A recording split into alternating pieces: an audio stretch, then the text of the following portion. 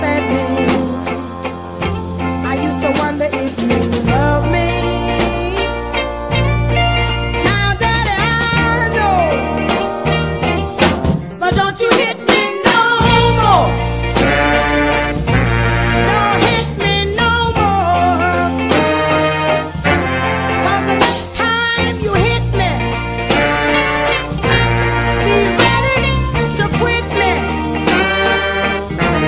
that it's getting hard to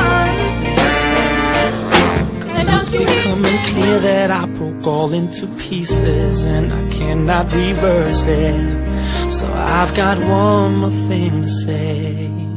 I'm sorry for your pain. I'm sorry for your tears. For all the little things I didn't know. I'm sorry for the I didn't say. But what I still do, I'm still loving.